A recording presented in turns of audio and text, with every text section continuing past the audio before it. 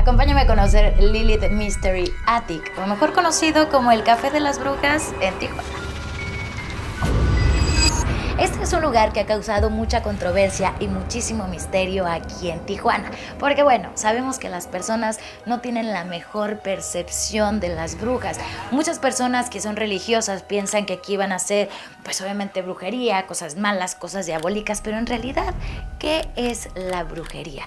Esto es un llamado de energías, donde las personas que tienen otro tipo de dones, otro tipo de, de energías, ellas las comparten con las personas, ellas deciden hacer rituales, deciden hacer limpias, deciden hacer lecturas. Entonces aquí en Tijuana hay un club de brujas, ¿sí? Así como lo escuchas. También hay club de brujas. Este club se formó hace un par de añitos y ellas buscaron un espacio para poder tener un lugar seguro para tener sus reuniones, para hacer sus rituales, para hacer sus prácticas y decidieron abrir este lugar únicamente para reunirse ellas. Algo así como la película de las brujas que hacían sus convenciones y así es como deciden abrirlo al público.